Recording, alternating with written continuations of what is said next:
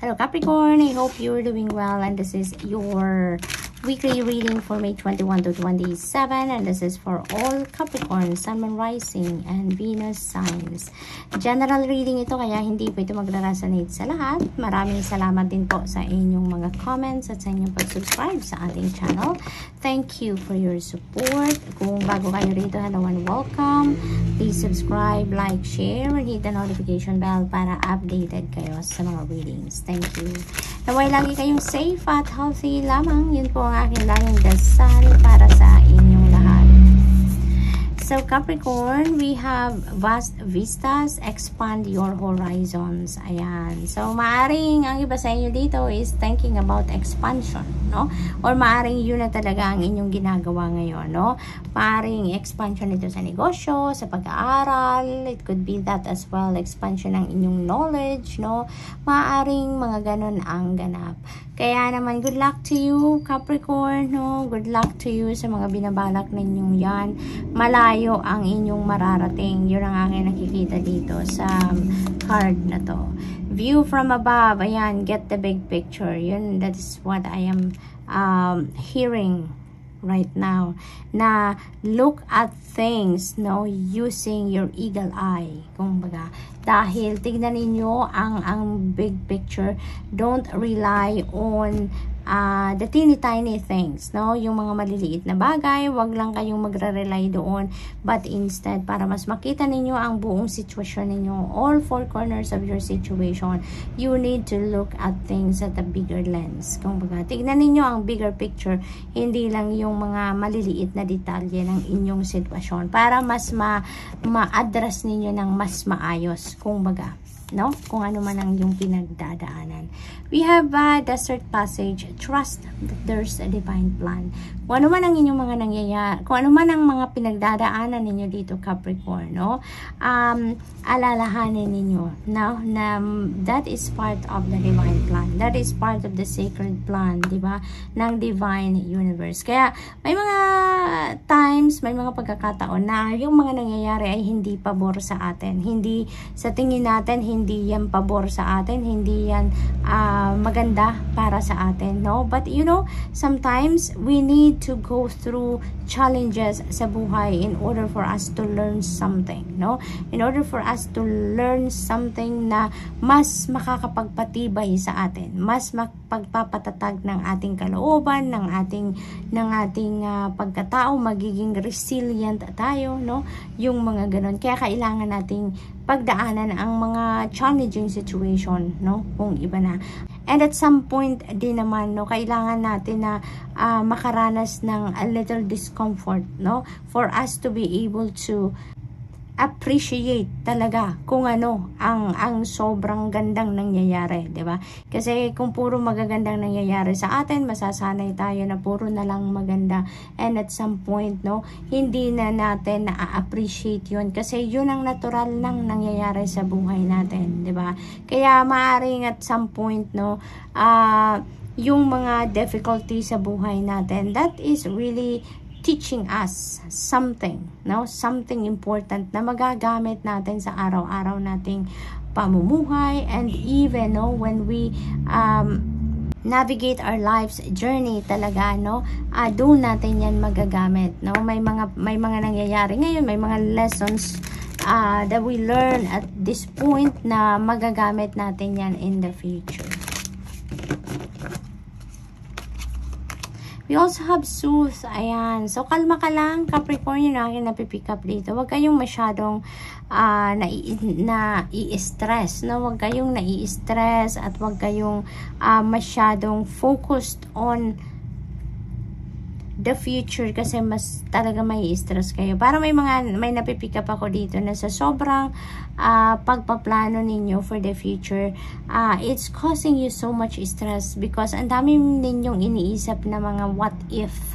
Ang dami ninyong naiisip ngayon na kailangan ninyong maging handa sa ganito, kung ganito mangyari, sa, kung ganito mangyari, kung gano'n na mangyari, yung mga gano'n. And it is stressing you out. Kalma lang, Capricorn, kalma lang. Mas mabuting i-enjoy ninyo yung kung ano ang nasa presente, no?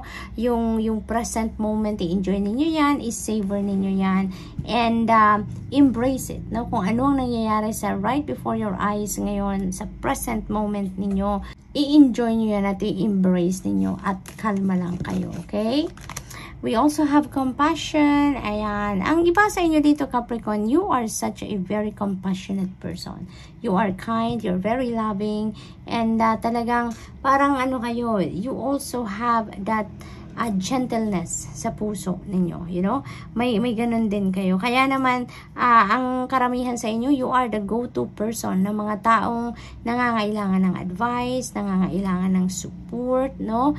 Uh, you are the go-to person ng ibang tao dito na nasa paligid ninyo because you are such a compassionate person. You are such a very good and compassionate listener din, no? Sa mga taong nangangailangan ng advice, sa mga taong nangangailangan ng kausap, no? no? Para magpagaan ang kanilang uh, nararamdaman. Kayo yon Capricorn. Kayo, yung mga, yung taong nagbibigay nun sa ibang tao, no?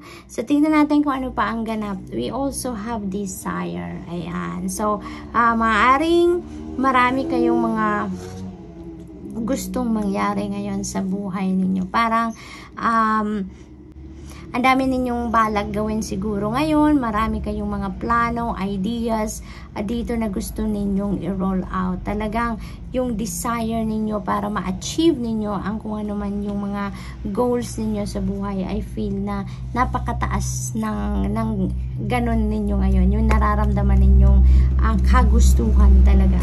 No? Parang uh, you're going to be feeling determined around this time, gawin at uh, abutin ninyo kung ano man ang iyong mga goals ngayon. So that is what I am picking up na talagang buhay na buhay sa puso ninyo mga hearts desires ninyo ngayon. We also have three of pentacles. Ayan. So this is success, no? This is the beginning of success.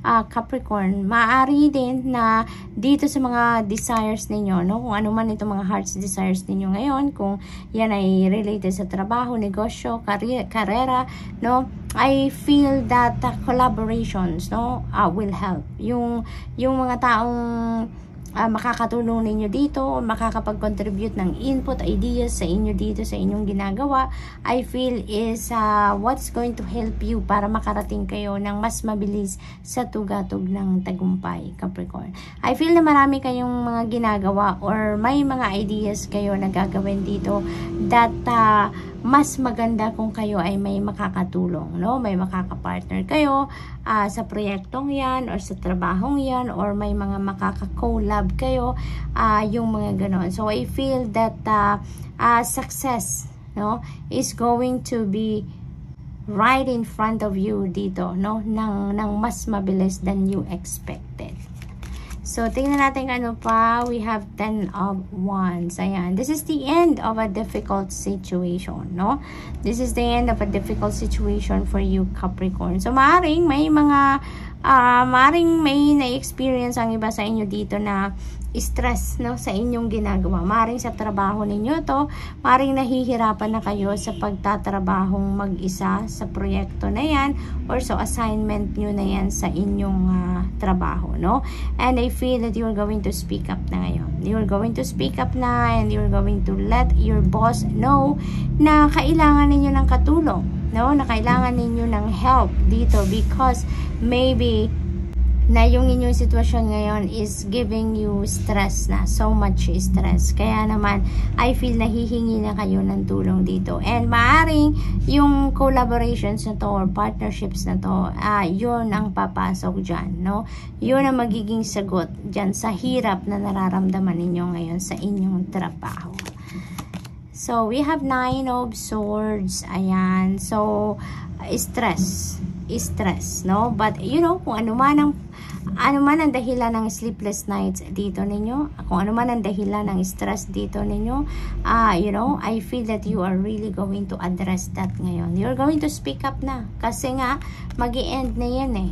You're putting an end to that. You're going to realize na ngayon different things na uh, maring isipin ninyo na tama na, enough na. Hindi ko na to hahayaan na talunin ako ng stress, ng problema na to. I'm going to put an end to this difficult situation. This is ending, no? This is ending. Kung ano man tong pinoproblema ninyo, trabaho man to, I feel family situation ito and uh, trabaho, no? Maaring 'yon ang nagpapa-stress sa inyo ngayon, no? Uh, maaring maraming ginagawa or problema sa pamilya, maaring ganoon. But now you're you're putting an end to that kasi I feel na marirealize ninyo dito na wala namang mangyayari kung poproblemahin ninyo ang problema. I feel na ngayon, yung makakapag-isip kayo ng solusyon dito kung ano ang dapat ninyong gawin para matapos na ang pag ang stress na to sa buhay ninyo. And I feel that you're going to do that. No? You're going to do that with the Ten of Wands. You are putting an end to that difficult situation by speaking up. No? Yun ang aking napipick up dito. Hihingi na din kayo dito ng tulong. No? So, good luck to that, Capricorn. And that's all I have for you for the week. I hope nakatulong ang reading nito in some way. Thank you for watching. Love and light. Namaste.